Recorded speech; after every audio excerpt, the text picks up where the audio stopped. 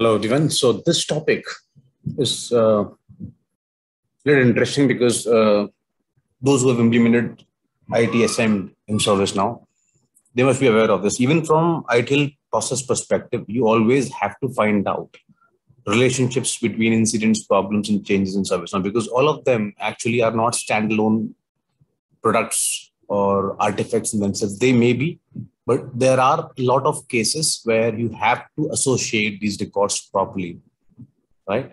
Uh, because even uh, the statistics tell you that more than 50% of your incidents are caused because of failed changes. And most of the problems are fixed by changes in the environment. Most of incidents are fixed by changes in the environment. Maybe it may be a normal change, it may be an emergency change, whatever it is. So this is very important to understand the relationship between incident, problem, and change. And I'll just try to cover it quite quickly because it is not very uh, detailed topic, but still an important one and uh, one which sometimes people get confused. And so we always understand from ITIL perspective that what is the relationship between incident, problem, change. That problem is an underlying cause of incident, and we have talked about it also that when you have seen an incident, you it will always have an underlying cause. You may or may not want to find out depending on the impact of the incident.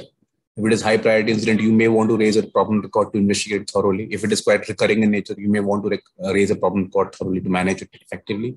So this is where uh, so always you will have an underlying cause of an incident, which is actually called as a problem. Now, situation in the real world is that one incident can cause sorry, one problem can cause multiple incidents, right? So initially, when you came to know about a problem, is via an incident, for example. Now, for that incident, you have raised a problem record the first time, and later on, you have similar incident and you have attached to that problem record. So if you see the topics which I am covering here, one is the incident because of which you came to know about the problem for the first time, and you've created a problem record to ensure that you manage it effectively. This is the first time you came to know about that problem via an incident. Second situation is you already have a problem recording system and you want to associate other incidents which have the same problem as a root cause to that particular problem record. Again, the same situation we have in real world, right? The, as I said, there are cases where incidents are caused because of failed changes. So you should be able to map those incidents that are caused by changes. You should be able to take out a report out of it there are incidents which are fixed by changes. Sometimes there's an incident for which you might have raised an emergency change. If it is not a very high priority incident and you may have time to fix it, then you might fix it using a normal change. And problems, generally you fix problems by changes unless you agree any uh, risk acceptance, something of that sort. Otherwise, you generally do change management to fix problems, right? So there is a very clear correlation, a very clear relationship between these three, these three things. Now, I'm talking more in terms of ServiceNow perspective now that how does it look like in system? Where do you attach these records? How do you differentiate that this is the incident because of which I created this problem the first time versus these are other incidents which are linked to this problem record. So there is a difference. Sorry, there is a fundamental difference between these concepts. One, where you came to know about the problem record via an incident and you are raising a problem from that incident Second, that other incidents of similar nature have to be linked to that particular problem. And even fundamental uh, things here also, incidents caused by changes, fixed by changes, there also we will see the same thing going forward. But let us see the system, how does it look like? So let me go back to the system. And if I show you, for example, let's start this journey quickly from incident. And I'm creating an incident record first time. Let's do that.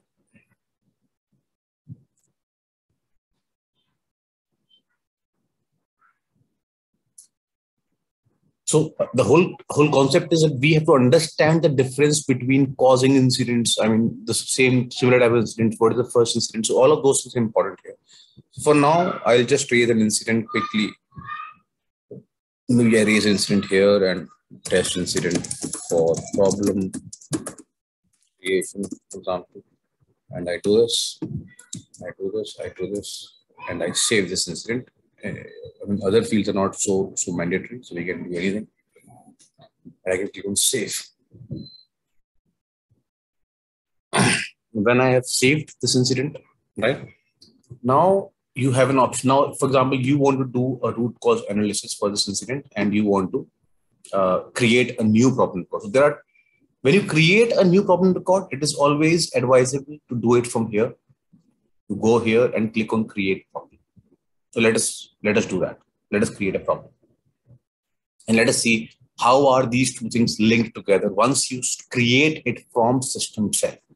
Now, do you see this field called first reported by? This is that important field which tells you that this is that originating incident or the first incident because of which you have come to know about this problem. And now, now I can just click on save and the problem will be saved. This is the most important thing I want to show you that this is the field which kind of tells you that this is the problem uh, originating incident which was before because of which you have created this problem record for the first time. Now it will be shown up here also. When you go to load related lists, it will be shown up here also. Let us see that. Do you see this? This problem has this incident. But when you attach other similar incidents to this existing problem, even they will come here. At that point of time, people become confused. They get confused at which was the parent incident because of which we create the problem for the first time. And this is what you can find out from this first reported by field. Let's go back to that incident and see.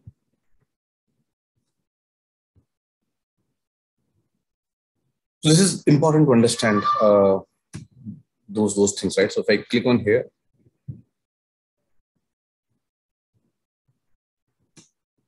I don't think there is. Uh, don't have a problem uh, related list here, so it will be shown up here problem record because this is the problem record we just. Now, understand this concept. If I go to any, let me copy this problem number for time being. If I go to any other incident now, and I come here, for example, I come to all,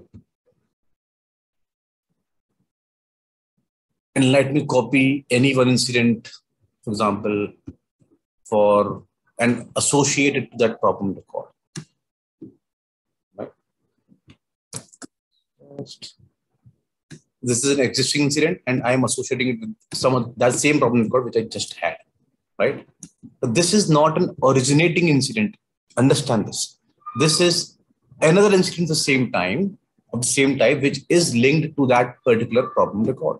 If I go back to this particular problem record, this is where you can find out that first reported by does not change, which means when the problem was first reported, it was because of this incident. However, you can always find out that how many other incidents are linked to this particular problem. So that is what I want to tell you that this that particular field called related problem record is the same purpose that if you want to associate an existing incident or a new incident to an existing problem record, you can do it from here. It will be reflected in the related list view, right?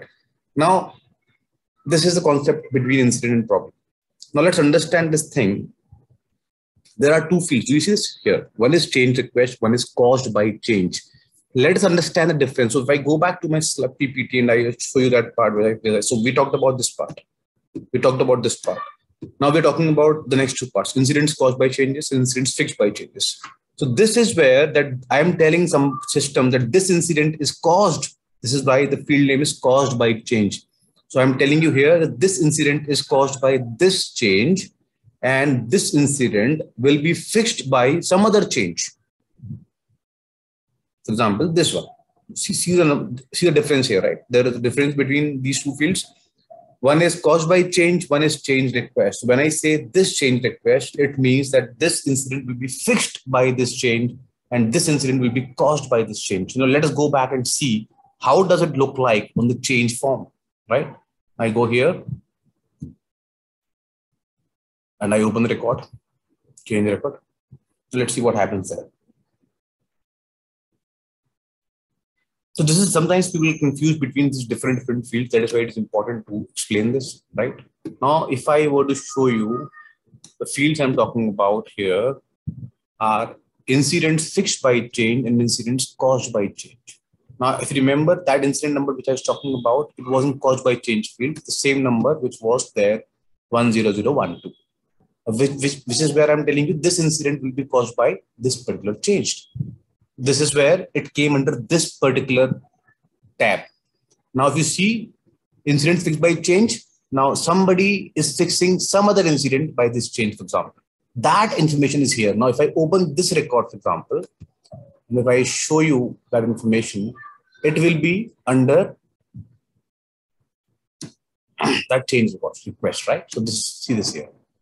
It's 4005, the same 4005. So here we could see that this information was under fixed by change, and here this information is under on the incident form as a change request. Similarly, on this incident caused by change was something different, and this caused by on so on this incident form you will have that field as caused by change. There are very significant differences between caused by change and fixed by change, and we have to understand this that this incident is causing this change. Sorry, this change is causing this incident, or this incident is fixed by this change.